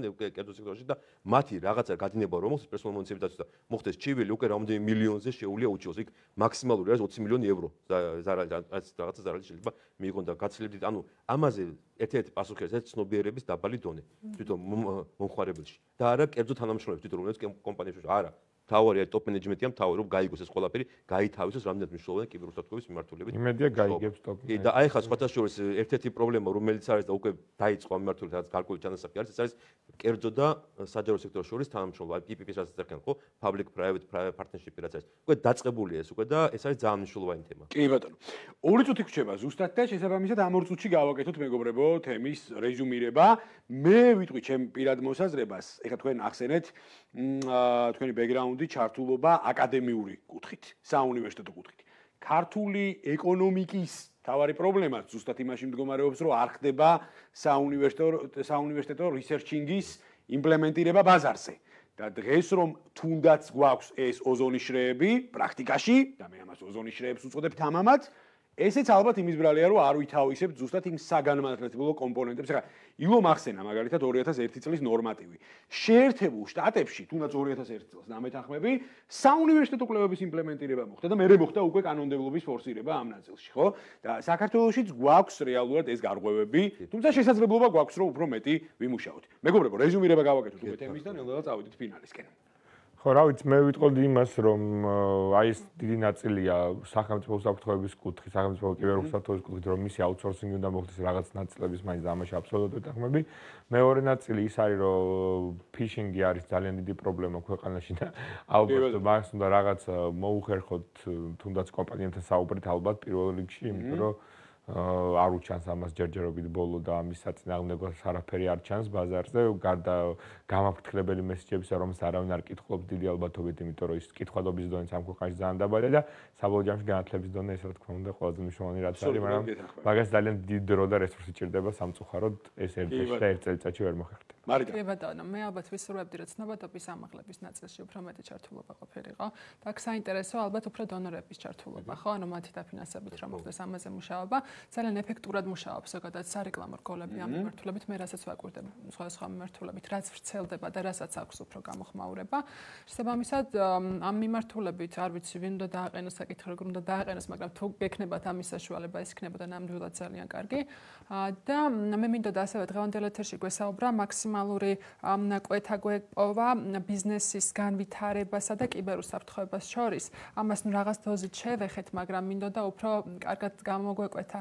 ეს ნაწილი ანუ მე რომ მქონდეს წარმატებული ბიზნესი ქვეყანაში უნდა იყოს კიბერუსაფრთხოება ნუ მაღალ დონეზე დიდი იმედი მაქვს რომ ამაზე ჩვენ შევძლებთ მოხლას მომავალში კიდევ თუნდაც მომდევნო კვირაში არ არის არანაირი პრობლემა და იმდენად გადავუხვიეთ თემას რომ ვეხარ ვეხარ მოვა თუმცა ძალიან საინტერესო პასაჟები გაჟღერდა და ესეთი პასაჟები ძალიან მოკლეს თუ შეიძლება. აკადემიას დავამატებდი იმიტომ რომ აკადემია ძალიან მოკლეს. იმიტომ რომ ყველა შეერთებულ შტატებში ქნება ბრიტანეთში ქნება სადაც ქნება ყველა თამაშობს აკადემიასთან ამერიკის შეერთებული შტატების NSA რაც არის ხო National Security Agency რო არის 84 უნივერსიტეტთან თამაშობს სადაც აქ თავისი ცენტრები შექმნილი excellence ცენტრები აქვს შექმნილი. ზოგი მუშაობს cyber intelligence-ზე ზოგი მუშაობს cyber defense-ზე ზოგი არის BI-ს აი ესეთი ბატონო გამოვიტანოთ ჩვენც ეს მოდელი და კი კი გადმოტანიან და სხვაში მიმდინარეობს იმიტომ რომ კავკასიის უნივერსიტეტი დანერგა თქვა საბაკალავრო ჩვენ ახლა მაგისტრატურას გეგმოთ ასე და თავაზე ბექნა თავარი დაინტერესება იყოს სახელმწიფოს მხრიდან რატო აა იმედია რომ ყინული გავღვება მე ძალიან დიდი მადლობა უნდა გადაგიხადოთ საინტერესო საუბრისთვის და ძალიან მაღალი დონის და კომპეტენტური ასპექტების ესე თქვა წინა პლანზე წამოწევისთვის.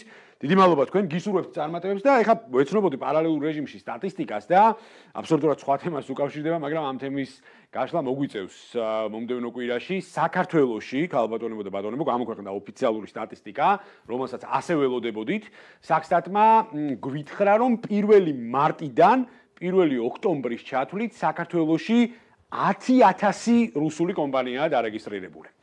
აა გაცილებით მეც ვარაუდობდი მე ამ შემთხვევაში, მაგრამ ნუ ეს სტატისტიკა აი ამ წუთებში გამოაქვეყნა სტატისტიკის ეროვნულმა სამსახურმა. განვაგრძობთ გამოშვებას. ახლა უკვე კულისებში არიან ძალიან საინტერესო სტუმრები.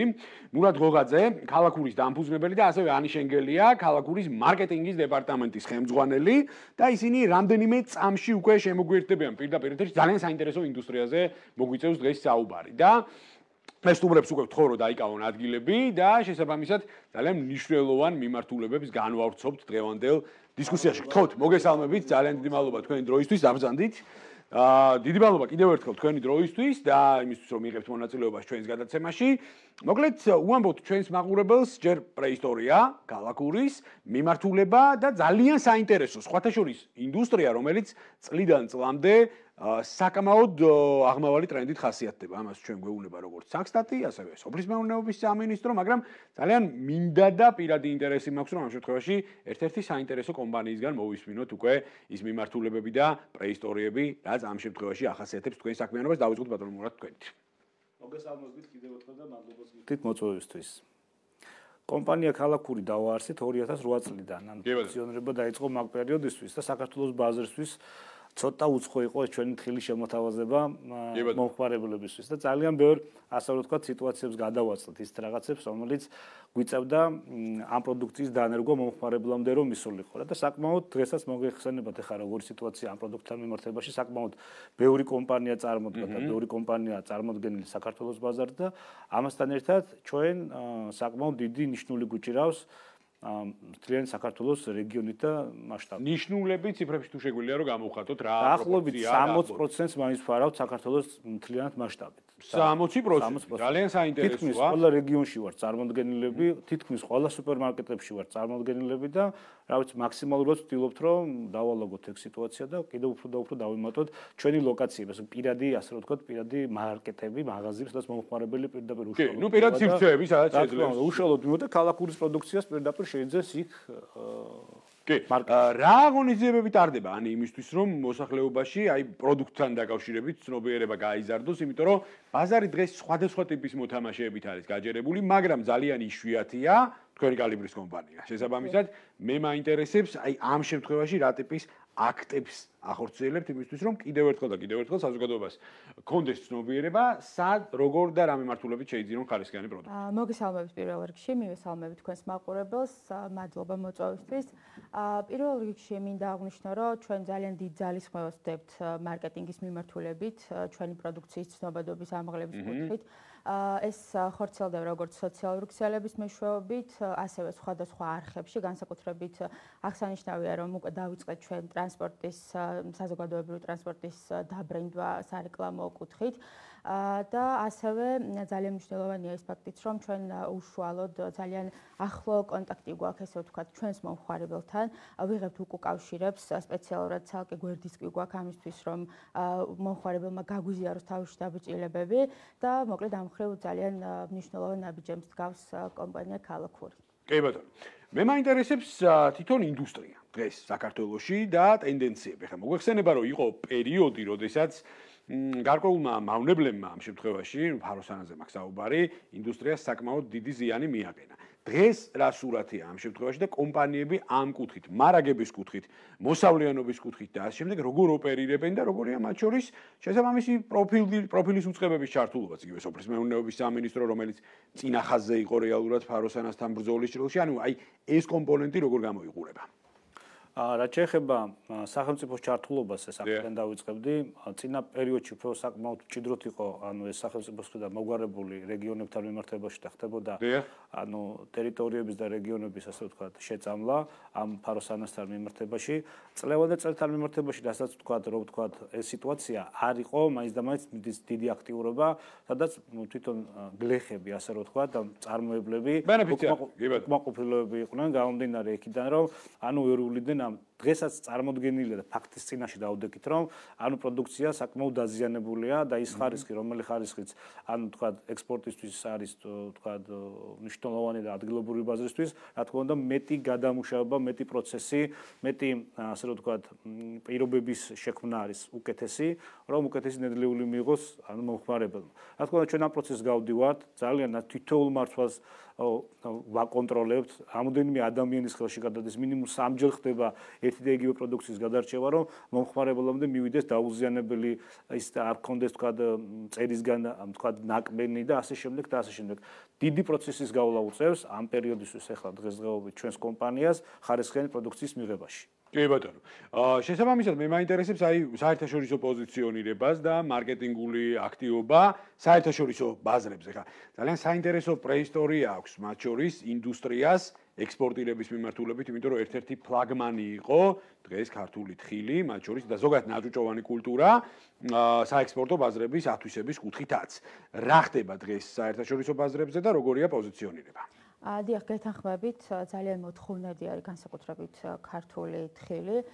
ჩვენ როგორც იცით, ვაწარმოებთ თითა თხილს, რომელიც ასევე განსაკუთრებული ჯიშის არის და ამაზე ორმაგად გაორმაგებულია მოთხოვნა, ვინაიდან უნიკალური გემოვნური თვისებების და ძალიან სასარგებლო თხილი გახლავთ.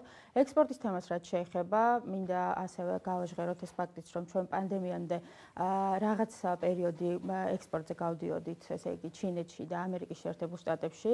ოღონდ ეს იყო მცირე რაოდენობით ექსპორტი, ხომ პანდემიის შემდგომ ასევე ქონდა უკრაინის ბაზართან მოლაპარაკებები და თითქმის ანუ ბოლო იმაზე ბოლო ბოლო სტადიაზე ვიყავით მოლაპარაკებების, როდესაც უკვე უკრაინის ომი დაიწყო სამწუხაროდ.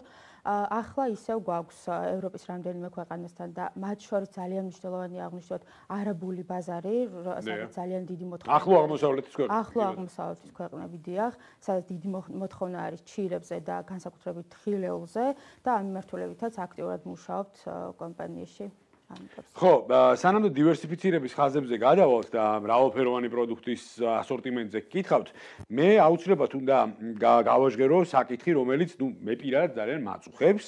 ეს არის ფინანსებზე ხელმისაწვდომობა და ეს არის განათლების კომპონენტი, რომელიც ნებისმიერ ინდუსტრიაში არის დღეს, ასე ვთქვათ, თავმოყრილი და სამწუხაროდ ერთ-ერთ პრობლემატურ ასპექტად რჩება. მე მაინტერესებს პირველი, გისარგებლიათ თუ არა სახელმწიფო პროგრამებით, იგივე სოფლის მეურნეობის ჭრილში არსებული ძალიან საინტერესო პროგრამებით, ეს ერთი ნაწილი და მეორე ნაწილი. აა ჩვენ დღეს ტექნოლოგიური კუთხით, კერძო სექტორის ჭრილში სად ვართ? ანუ რამდენად ხდება ტექნოლოგიური კომპონენტების ათვისება, იგივე საშრობები, ლაბორატორიები და ასე შემდეგ და ასე შემდეგ. თქვენ ძალიან საინტერესოდ ახსენეთ რა იერარქიას და რა ევოლუციას გადის პროდუქცია რეალურად მოპოვებიდან ბაზრამდე. შესაბამისად აი ეს ტექნოლოგიური კომპონენტიც რომ მოგვიყვეთ კიდევ ერთხელ. ძალიან კარგი. რა შეიძლება სახელმწიფოს გაწარმოებიდან ნუ ორ ნაწილად გავყოთ ეს საქმე. აქედან გვისარგებლია. ჩვენ გვაქვს ახეთში ჩვენი თხილის პლანტაციები, სადაც აქვს თხილის საწარმო, გადასამუშავებელი პირველად გადამუშავება, სადაც ხდება. და იქ იქ თქვა ენერგიის შესყიდვა იყო წვეთოვანი სისტემების დანერგვა იყო თუ რამე იყო, რა თქმა უნდა ძალიან დიდი მონაწილეობა მიიღო ჩვენს აი ამ საქმიანობის დანერგვაში და ფინანსურ დახმარებაში, რა თქმა უნდა. ყველა იმ თქვა ტრაქტორები, გუთნები და ასე შემდეგ, რაც სოფლის მეურნეობას ჭირდებოდა იმ წუთაში. მადლობა სუხთი ამას ამასთან დაკავშირებით სოფლის მეურნეობას, ამის დახმარებით ძალიან ბევრ მეწარმეს და ძალიან ბევრ ასე ვთქვათ ფიზიკურ პირს დაეხმარა აი ამის კეთებაში სოფლის მეურნეობა. უკეთესი იქნება რა თქმა უნდა თუ ვთქვათ გაფართოვდება და უფრო მეტ შესაძლებლობებს მისცემს. ანუ მეტ ინფორმაციას გადასცემს მოსახლეობას ამასთან მიმართებაში რომ უფრო მეტი ხალხი დაინტერესდება და უფრო კარგად იქნება ასე ვთქვათ გლეხი ადამიანი და ფიზიკური ადამიანები წარმოდგენილები რომლებიც დღეს ამ ეს ეს ინფორმაცია მათ ყურამდე არ მიდის. რაც შეეხება ტექნოლოგიას ტექნოლოგიას ვთქვათ აი ეს სტანდარტები ეს თქვა ლაბორატორია და ასე შემდეგ ცოტა შორს არის ჩვენი ქვეყანა ამ საკითხებთან და აა ცუდია ეგ ძალიან ცუდია მაგრამ და სამწუხაროდ აი ისე და ისე ერთი ნიუანსი უნდა გავაჟღერო ეს ყველაფერი სიმძიმის წერტილი და თუ ერთი მე მოდის ისე და ისე კერძო სექტორზე. და კომპანიაზე თუ კომპანია არის ვალდებული დადოს ხარისხიანი პროდუქტი და შესაბამისად ის თვირთი რასაც ქვია თუნდაც იგივე შესაბამისი ლაბორატორიული სპექტრის ფორმირება შესაბამისი ინფრასტრუქტურის ფორმირება და ასე შემდეგ გადადის თქვენზე. მოდი ასე თქვა, ნუ პირობითად თქვენზე არა, მაგრამ ყველაფერს მაგრამ მათ შორის თქვენზეც, ხო? შესაბამისად მე მაინტერესებს უკვე აი რა არის აი ეს ტექნოლოგიური გამოწვევა დღეს, რომელიც თუნდაც თქვენი კომპანიის წინაშე დგას და რომელიც ინდუსტრიის წინაშე დგას. ჩვენ მომავლისთვის ახლა ჩვენ გეტყვით ანუ ჩვენ რას ვაპირებთ და როგორ ვაპირებთ ამ პრობლემების აღმოფხვრას. ჩვენ ახლა ამ ეტაპისთვის არანაირ სტანდარტი დანერგილი არ გვაქვს. გულისხმობ ანუ ISO სერტიფიცირებას და ISO რომელიც არის საერთაშორისო სერტიფიცირება. ადგილობრივი სერტიფიცირება რომელიც არის რომ თქვა უნდა იყოს მოწესრიგებული ისაც წარმოების პროცესია მაქსიმალურად ყოველდღიურად ცალკე მონიტორინგის გუნდი ყავს ჩამოყალიბებული ყოველდღიურობაში წარმოების მიმართულებით რომ დღის განმავლობაში აკონტროლოს ნედლეული შემოსვლა, გასვლა, თანამშრომლობები და ასე შემდეგ. ყველა საკითხს მაქსიმალურად ვცდილობთ რომ დეტალურად შევეხოთ, იმიტომ რომ ამ პირობებიდან გამომდინარე, რომ დღეს ესეთი თქვა მჭიდროდ არ არის დანერგილი ეს სიტუაცია, აა ჩვენ ვცდილობთ რომ მაქსიმალურად გავყვეთ აი ამ პროცესებს რა. ამიტომ ჩვენ მომავლისთვის ვაპირებთ რა თქმა უნდა უკვე საპროდუქციას თქვა რომელიმე ქვეყანა რომელი ქვეყანაც თქვა დავიწყებთ პარტნიორობას პროდუქციის მიწოდებასთან დაკავშირებით შესაბამისად ის სერტიფიცირება დავგეგმოთ რომელიც სერტიფიცირება მათთვის მორგებული იქნება და იმ მიმართულებით წავიდეთ მომავლისთვის, რა თქმა უნდა, ჩვენ ვაპირებთ დიდი საწარმოს მშენებლობა, სადაც იქნება ინდუსტრიული საწარმო და აქედან გამომდინარე ვიკავებთ. ახლა რა პერიოდებში გეგმავთ ამ ყველაფერს გაგეთ? მომავალ წინა პერიოდშიც ვაპირებთ ჩვენ საწარმო მშენებლობას, მაგრამ ფიზიკურად რაღაცა პირობებიდან გამომდინარე, რაღაც საკითხები შეიცვალა და აქედან ვფიქრობთ, რომ აუცილებლად ამ წლის ბოლო, ამ წლის დასაწყისში გვინდა რომ საწარმო იყოს უკვე ფუნქციონირების პროცესში, რაღაც ძალიან მაგარია. მე პირობას ჩამოგართვეთ, რომ ექსკლუზიურად ჩვენთან გააჟღერებთ ამ ყველაფერს. ძალიან კარგი. პირველად, როდესაც ეს თემა ამოიქოქება და კი, რაღაც თქმა გინდოდათ? ხო და გვინდა რომ ამასთან ერთად სტანდარტები მინდა რომ დავამთავროთ სტანდარტების საკითხი. ამასთან ერთად რომელსაც საწარმოსაც ავაშენებთ, მის შესაბამისად ISO-ს შესაბამისად იქნება რომელიმე სტანდარტ შესაბამისად, ისე იყოს უკვე ეს საწარმო თქვა დაორგანიზებული და ფუნქციური, რომ ანუ ეს იყოს მარტივი ჩვენი მეწარმეებისთვის, ჩვენი კომპანიისთვის და ჩვენი საზოგადოებისთვის, რომ მარტივად იყოს ამ ყოლაფრის მიწოდება. კი ბატონო. და ბოლოს, ფართო ასორტიმენტზე მინდა გითხოთ რეალურად, ანუ დივერსიფიცირებული ხაზი, პროდუქციის და წარმოების დივერსიფიცირებული ხაზი, აი გარდა ამ შემთხვევაში ტრადიციული მიმართულებისა, რა დამატებითი მიმართულებების ემსახურებით და რა დამატებითი მიმართულებების ათვისებას აპირებთ. დიახ, ჩვენ საკმაოდ დიდი ასორტიმენტი ვართ, ასორტიმენტით ვართ ბაზარზე წარმოდგენილი და ასევე მინდა აღვნიშნო, რომ თითქმის ყველა სეგმენტზე ვართ მორგებული. აქ როგორც საბავშვო მიმართულების ხაზით პროდუქცია, თხილები, ჩირები, ეხა ასევე აღსანიშნავია ის ფაქტიც, რომ ჩვენ წინა წელს გავაკეთეთ საკუთარი წარმოება, ქალაქურს აქვს უკვე საკუთარი ჩირის წარმოება, რომელიც წეროვანში არის აფასებული. არის ეკოლოგიურად სუფთა პროდუქტი, ნატურალური ქართული პროდუქტი. ასევე მნიშვნელოვანია ის ფაქტიც, რომ ჩვენ წელს უკვე ვაპირებთ, ეს იქნება საახალწლოდ ალბათ, ქართული ტყლაპების ხაზის გაკეთებას და ასევე თაფლი, თაფლის ნუგბარი, ესე გავაკეთეთ ახალი პროდუქტი და ჩვენს მოხარებელს მუდმივად თავაზობთ ამ ხრივ სიახლეებს. ძალიან მაგარია. მე მიყვარს კრეატიული კომპანიები, როგორც წესი. დიდი მადლობა უნდა გადაგიხადოთ საინტერესო საუბრისთვის. მე იმედს გამოთქვა, რომ ჩვენი გადაცემის სტუმარი ძალიან ხშირად იქნებით, მით უმეტეს ექსკლუზივს ჩვენთან აშგერებთ აუცილებლად. მადლობას გიხდით და გისურვებთ წარმატებებს. განვაგრძობთ გამოშვებას. ახლა უკვე პირდაპირ ეთერში გავა ჩვენი პარტნიორი Sphero Holding-ის ტიხარი, რაც ნიშნავს იმას, რომ კომპანიის წარმომადგენლებთან ერთად ვისაუბრებთ იმ სერვისებსა და შეთავაზებებზე, რომელიც Holding-ის მხრიდან მომდინარეობს. გადაცემის გენერალური სპონსორია Sphero Holding-ი.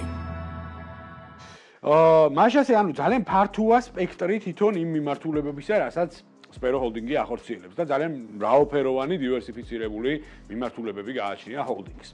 დღეს გვინდა რომ კონცენტრირება გავაკეთოთ თითოეულ პროდუქტზე და თითოეულ მიმართულებაზე, რომელიც ერთის მხრივ ორიენტირებულია პრობლემის გადაჭრაზე, ხოლო მეორეს მხრივ ორიენტირებულია გარკვეული კომფორტის შექმნაზე ბენეფიციარებისა და მომხმარებლების ჭრილში. პირდაპირ ეთერში გვერდებიან მარიამ დორეული და ნათი არუთინოვი სფერო ჰოლდინგის წარმომადგენლები. მეგობრებო, მოგესალმებით, ძალიან დიდი მადლობა თქვენი დროისთვის და მე კიდევ ერთხელ მინდა გავყვეთ იმ პროდუქტების სპექტრს, რომელიც სფერო ჰოლდინგის ჭრილში არის წარმოდგენილი და დედომინირებული და შესაბამისად მე თითოეულ მათგანთან დაკავშირებით მექნება ჩემი კონკრეტული კითხვები. გისმენთ, დავიწყოთ თქვენით და მოკლედ გავაკეთოთ პატარა შესავალი, მოდი ასე ვთქვათ, იმ პროდუქტებისა, რომელიც სფერო ჰოლდინგის ჭრილში არის დაგენერირებული. დიახ, მოგესალმებით, მოგესალმებით ხეს მაყურებელს. რაც შეეხება სფერო ინვესტის პროდუქტებს, საქართველოს ბაზარზე სფერო ინვესტი რამოდენიმე პროდუქტით არის წარმოდგენილი. ესენია სფერო გირა, სფერო ავტო, ბარტერი და ანაბარი. თითოეული პროდუქტი არის ალტერნატივა და ემსახურება მომხმარებლების ინტერესებს. ვის გამარტივებას და უფრო მოკლე პერიოდში და მარტივად დაკმაყოფილდეს მათი ინტერესები ჩვენი კომპანიისგან და ჩვენთან თანამშრომლობისას. კი ბატონო, ინვესტი. მოდი ინვესტით დავიწყოთ და შემდეგ უკვე განვავითაროთ ცალკეული მიმართულება. ნუ სფერო ინვესტი ეს ახლა ჩვენ გიგასთანაც წულეისკირთან არაერთხელ გვისაუბრია ამ თემაზე.